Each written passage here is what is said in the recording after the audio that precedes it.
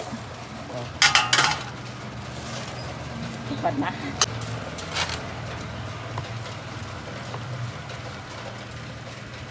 Đúng là món mật rồi.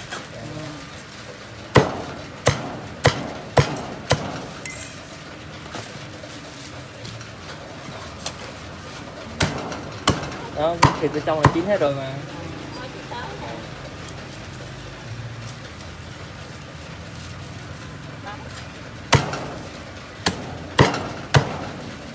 Nóng gì nè ăn nó ngon Cái này thì đúng rồi, này vừa về cái là mở cái hộp ra chia làm hai ngăn cắt giữa cái hộp là xong.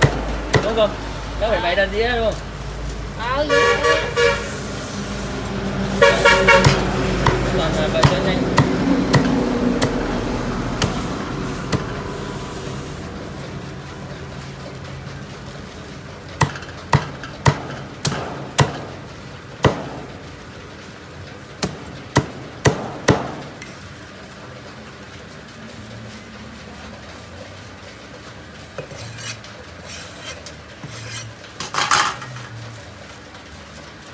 Có tuyệt vời đang nắng này vậy ăn ngon.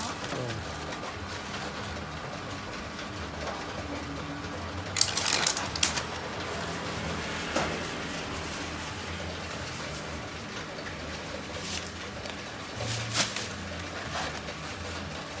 nãy mới vừa nhóm lửa cái ông kia